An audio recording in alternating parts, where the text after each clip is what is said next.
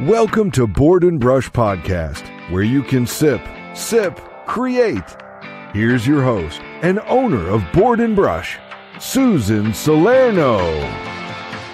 Welcome back, everyone. Garfield Bowen, co-host slash producer of the show here, back in the studio with Susan Solano. Susie, how you doing today? I'm doing great, thanks. How are you? I am well. I am well. We got an exciting topic for you this today to really get into the and i'm sure a lot of the your, your clients i mean uh, people are really asking these questions a lot. Um, mm-hmm. do customers have to pick their project ahead of time? Yes. So we do request that customers go onto our website and they take a look at our calendar of events. Um, when you select which day you want to come in you can take a look at our gallery because we have hundreds of different projects that you can choose from. And once you select your project, you have to enter any personalization that might be required.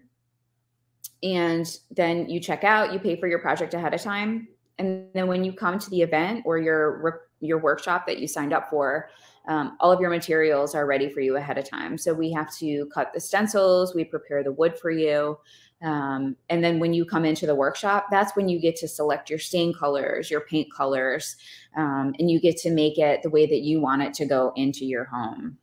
Okay, we know the holidays are coming. It's October, Halloween, November, Thanksgiving, Christmas, New Year's.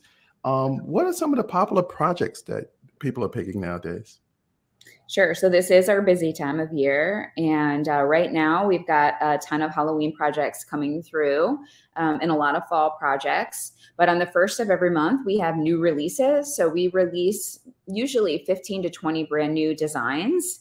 And um, on October 1st, we just had uh, Christmas, Hanukkah, Thanksgiving um, projects come out. So they've been pretty popular in the studio as well. But once Halloween passes, that's when we'll really get into the holiday projects. Sounds really exciting. Susie, mm-hmm. you have a wonderful rest of the day. We'll see you on the next episode. Sounds good. Thank you.